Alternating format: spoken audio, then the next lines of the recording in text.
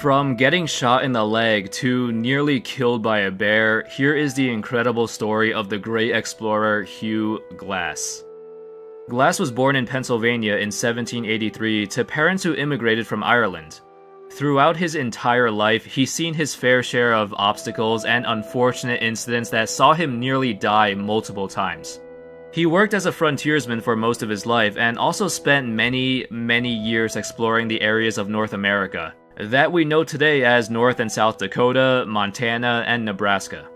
Although over the years, some people have said that the stories of Hugh Glass have been somewhat exaggerated. I mean, this was in the 1800s and it was way more difficult to document events that happened compared to nowadays. But I'm gonna share with you a couple of stories about him that are crazy, yet believable. First off, let's start in 1817. At the age of 34 years old, Glass was sailing the seas off the coast of Texas, which of course is now known as the Gulf of Mexico. However, during his expedition, he was kidnapped by Jean Lafitte, an infamous French pirate who did most of his work around the Gulf of Mexico and Galveston Island, which was off the coast of Texas. So Glass and his comrade would get kidnapped by him and they were forced to become pirates for two years. Eventually, they found the opportunity to escape and run away, but then, one year later, Glass was exploring around an area that is now known as modern day Kansas, and he got kidnapped again. This time by the Wolf Pawnee Indians. Fortunately, getting kidnapped by the Pawnee Indians wasn't as bad as he thought. Glass actually liked living that type of lifestyle and eventually married a woman from that tribe that captured him. Believe it or not, this was a common thing back then. Sometimes European settlers would get kidnapped by a tribe and then they would actually like living with them and they would stay there for the rest of their lives. And here's a fun fact even today, hundreds of years later, the Pawnee Indian tribe is still going strong. It obviously does not have as many members as before, but it still has a population of over 5,000, and they're mainly located in Oklahoma. Anyway, Glass would spend the next few years with the tribe, and he considered it his new home. By 1822, he was ready to continue his exploration. He would join a fur trading expedition where him and a crew of about 100 men would travel up the Missouri River and into North Dakota. But before they could even make it to North Dakota, they got attacked again, this time by the Arikara Indians. The tribe attacked them because they didn't like how Glass and his crew were animal trapping in their area. Glass ended up getting shot in his leg by an arrow, and a couple of crew members even got killed before they finally retreated. This incident would eventually lead to the US declaring war on the Arikara Indians, but it wasn't that big of a deal at the time.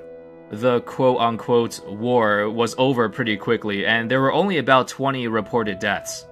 However, this small event would definitely be a sign for things to come, and over the next few years, the relationship between the Native Americans and Europeans would get much, much worse. But yeah, anyway, Glass got shot during the altercation, but him and the rest of his crew were able to escape down the river. Well, the rest of his crew that was still alive. They continued their exploration of the area, but about one year later, in August of 1823, Glass would be involved in the most dire situation of his entire life. In South Dakota, Glass accidentally disturbed a grizzly bear. The bear charged and assaulted him, bit into his flesh, and left him with deep cuts and wounds. Wounds that looked like they were fatal. It was over for Glass. His body was in terrible shape, and there's no way he'd be able to survive. But he did. After the initial attack, Glass and his crew fought back and killed the bear. Although he was in awful condition and he had a broken leg as well, his crew carried him for a couple of days. Eventually, with Glass being unable to walk by himself, the expedition drastically slowed down, and instead of helping him, they actually started to dig his grave, expecting him to die from his wounds in a couple of days. Two guys, John Fitzgerald and someone who people believe was famous mountain man Jim Bridger, were supposed to take care of Glass until he died. But instead, they ran off and left Glass there by himself, abandoning him. Later on, those two guys reported that Glass died, even though he didn't. Yeah, it was a lousy move on their part. As for Glass, he woke up after being unconscious for hours, abandoned in the middle of nowhere. He was forced to crawl 200 miles to the nearest American settlement. And that's what he did. He did that while his body was basically torn to shreds from the bear attack, with a broken leg and a mutilated ribcage. The fact that he was able to make it back to civilization in his state with nobody else to help him, man, that's just ridiculous. And it's pretty much the epitome of his life so far.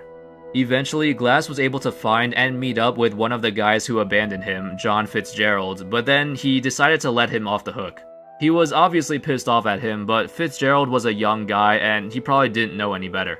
So yeah, that was that. At least Glass still survived. In the next 10 years, Glass would continue his fur trading and animal trapping expeditions, mainly around Missouri and the Dakotas, where he's been for most of his life. Occasionally, he'd fight off assaults from the Native Americans, particularly the Arikara tribe, who, as I mentioned earlier, has seen its fair share of conflicts with the Americans.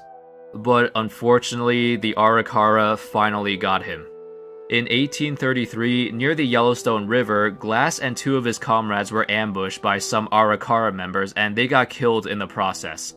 Well, at least that's what happened according to James Beckwourth, who also served under the same regime as Glass. His death was not officially documented, but according to Beckwourth, he brought back the dead bodies and this is what he said. We returned together and buried the three men amid the most terrible scenes that I had ever witnessed. The crying was truly appalling. The three men were well known and highly esteemed by the crows.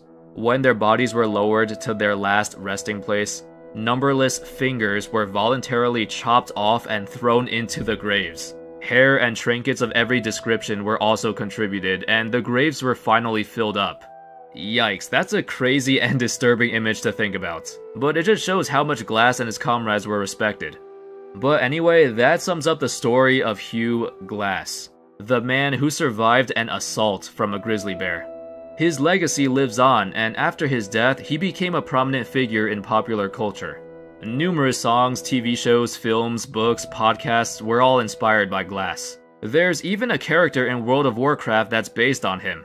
He also has a really cool looking monument built after him in South Dakota. Now that looks pretty nice.